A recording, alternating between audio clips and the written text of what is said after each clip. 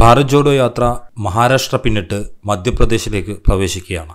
മധ്യപ്രദേശിലേക്ക് ഭാരത് ജോഡോ യാത്ര പ്രവേശിക്കുന്നതിന് മുൻപ് കോൺഗ്രസ് എം പി രാഹുൽ ഗാന്ധിക്ക് വധഭീഷണി. മധ്യപ്രദേശിലെ ജൂനി പോലീസ് സ്റ്റേഷൻ പരിധിയിലെ ഇൻഡോറിലെ ഒരു മധുര പലഹാരക്കടക്ക് പുറത്തുനിന്ന് ലഭിച്ച കത്തിലാണ് ഭീഷണി. രാഹുലിനെ കൊല്ലുമെന്നെഴുതിയ കത്ത് ഉപേക്ഷിച്ചയാളെ കണ്ടെത്താൻ പോലീസ് ശ്രമം തുടങ്ങി. പ്രദേശത്തെ സി സി ടി വി ദൃശ്യങ്ങൾ കേന്ദ്രീകരിച്ചാണ് അന്വേഷണം. അതേസമയം മുൻ മുഖ്യമന്ത്രി കമൽനാഥിനെ വെടിവെച്ച് വീഴ്ത്തുമെന്നും രാഹുൽ ഗാന്ധിയെ കൊല്ലുമെന്നും കത്തിൽ സൂചിപ്പിക്കുന്നു. ഇൻഡോറിൽ പലയിടത്തും ബോംബ് സ്ഫോടനങ്ങൾ ഉണ്ടാവും. കമൽനാഥിനെ വെടിവെച്ച് വീഴ്ത്തും. നിങ്ങളുടെ പിതാവ് രാജീവ് ഗാന്ധി ഉള്ളിടത്തേക്ക് നിങ്ങളെ അയക്കും എന്നായിരുന്നു കത്തിൽ പറയുന്നത്. കഴിഞ്ഞ ദിവസം ഹിന്ദുത്വ നേതാവ് വീർ സവർക്കർക്കെതിരെ വലിയ രീതിയിലുള്ള ആക്ഷേപങ്ങളുമായി മാധ്യമങ്ങൾക്ക് മുന്നിൽ വന്ന രാഹുൽ ഗാന്ധി വാർത്തകളിൽ നിറഞ്ഞിരുന്നു. ഇതിനു പിന്നാലെയാണ് ഭീഷണി വന്നത്.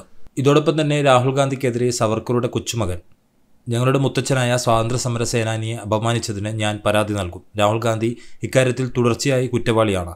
പണ്ട് രണ്ടായിരത്തി പതിനേഴിലും ഇതുതന്നെയാണ് ഇദ്ദേഹം ചെയ്തത് എന്നാണ് രഞ്ജിത്ത് സവർക്കർ പറഞ്ഞത്. കോൺഗ്രസ് വോട്ട് ബാങ്ക് രാഷ്ട്രീയം കളിക്കാൻ ശ്രമിക്കുകയാണ്. വീർ സവർക്കറെ അഭിമാനിക്കാനുള്ള അതേ അജണ്ട അവർ ഉപയോഗിക്കുകയാണെന്നും രഞ്ജിത്ത് സവർക്കർ കൂട്ടിച്ചേർത്തു. എന്നാൽ രാഹുൽ ഗാന്ധിക്കെതിരെയുള്ള വധഭീഷണി വളരെ ഗൗരവത്തോടെയാണ് കാണുന്നതെന്ന് ജൂനി പോലീസ് ഉദ്യോഗസ്ഥർ പറഞ്ഞതെന്ന് ഇന്ത്യ ടുഡേ റിപ്പോർട്ട് ചെയ്യുന്നു. കത്തെഴുതിയ അജ്ഞാതനെതിരെ ഇന്ത്യൻ ശിക്ഷാ നിയമം I P C five nought seven വകുപ്പ് പ്രകാരം കേസെടുത്തിട്ടുണ്ടെന്ന് പോലീസ് ഉദ്യോഗസ്ഥൻ പറഞ്ഞു.